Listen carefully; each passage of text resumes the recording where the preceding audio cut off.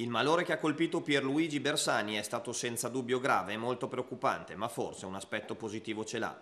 Il politico piacentino è stato sommerso da una serie infinita di manifestazioni di stima e di affetto. Ha iniziato ieri il vice premier Angelino Alfano, seguito a ruota da Piero Grasso, Antonio Di Pietro, Piero Fassino, Ignazio Marino, Maria Stella Gelmini, Maurizio Gaspari e dalla deputata piacentina Paola De Micheli, che segue l'evolversi della situazione addirittura dal viaggio di nozze. Tantissimi cittadini che hanno chiamato il centralino dell'ospedale di Parma per informarsi sulle condizioni di Bersani. Anche il Presidente della Repubblica, Giorgio Napolitano, ha chiesto lo stato di salute del Piacentino, mentre il Premier Enrico Letta ha promesso alla moglie di Bersani di fargli visita non appena possibile. Oggi anche Umberto Bossi e Beppe Grillo gli hanno rivolto parole di affetto e incoraggiamento. In molti però non si sono limitati a tweet o messaggi, ma sono andati di persona all'ospedale di Parma è il caso del presidente della regione Emilia-Romagna Vasco Errani e del presidente del PD Gianni Cuperlo, per finire con il nuovo segretario democratico Matteo Renzi. Anche una delegazione piacentina ha voluto portare a Bersani l'abbraccio dei suoi concittadini, non solo di quelli del PD. A Parma sono giunti il sindaco Paolo Dosi e il vice sindaco Francesco Cacciatore, con loro anche l'ex sindaco Roberto Reggi, che ha ovviamente lasciato da parte le polemiche dei mesi scorsi per stringersi a Bersani e alla sua famiglia, assieme al segretario provinciale del PD Gianluigi Molinari e il consigliere comunale Giulia Piroli.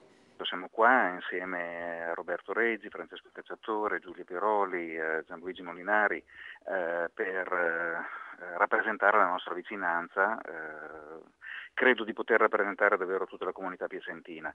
Le tante manifestazioni di affetto che sono arrivate eh, all'indirizzo di Pierluigi Bersani credo che testimoniano, al di là di qualsiasi riferimento, di qualsiasi appartenenza, la stima e anche l'affetto che eh, i piacentini non solo rivolgono alla sua persona. Quindi mi sembra che sia un, un gesto non solo dovuto ma anche molto sentito. Le buone notizie che arrivano ci fanno ben sperare, siamo tutti contenti, insomma questo è il tema. Poi ci possono anche essere divisioni eh, le, la, la, la, nella politica no?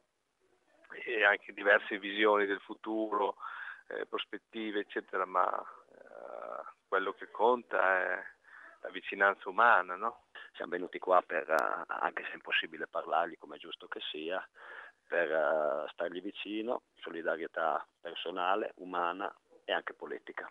È un fatto grave ma che come risvolto positivo ha probabilmente dimostrato un grande affetto nei confronti di Bersani da parte di tanti cittadini.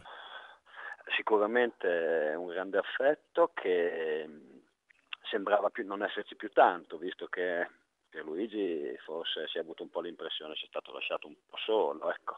Invece questo episodio, che per fortuna si va per il meglio, ha fatto, ha fatto sì che molta gente si riconoscesse nella sua figura come persona, come politico, di una persona per bene. In mattinata era stata la volta del parlamentare democratico piacentino Maurizio Migliavacca. Cacciatore ha infine voluto evidenziare l'ottimo lavoro svolto dai medici dell'ospedale di Piacenza che hanno immediatamente trovato il problema e quelli di Parma che lo hanno operato.